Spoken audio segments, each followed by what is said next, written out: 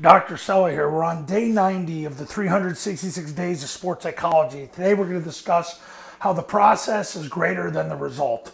So many coaches that I see uh, are so result oriented, but they don't understand you maximize your result with your process.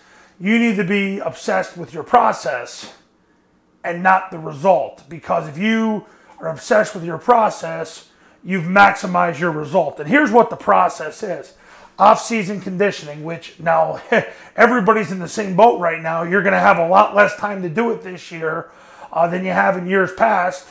Of course, if you do it the right way, and I've posted a lot of videos on this, you're not going to miss a beat. You're probably going to be better off uh, because you only need 20 hours of deliberate practice to get to 90% of your potential and achieve mastery. Summer workouts, like I said, you need about 20 hours worth of work, but this is the process. Preseason practice. Once again, I can get you ready in 20 hours. You got to hire me. The season is the process. Practice during the season. Basically, practicing the game, having a focus on practicing the game and playoff preparation. You've, you have the opportunity to go to the playoffs.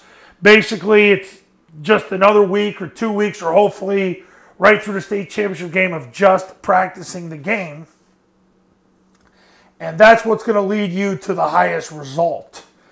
The process is more important on which to focus than the result because the result is a byproduct of your process. It's a byproduct of what you do in the off season, what you do in the summer, what you do in camp, what you do during the season, and what you do in the playoffs and that leads to the highest results. So focus on the process and not the end result. I know Nick, you've probably heard Nick Saban say it, but Nick Saban learned it from great sports psychologists such as Dr. Elko, and this great sports psychologist is telling you the same thing as well.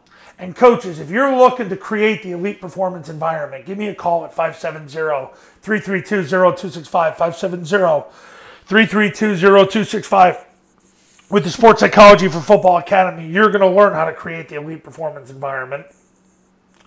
So give me a call, and I'll see you tomorrow for day 91. We'll talk then.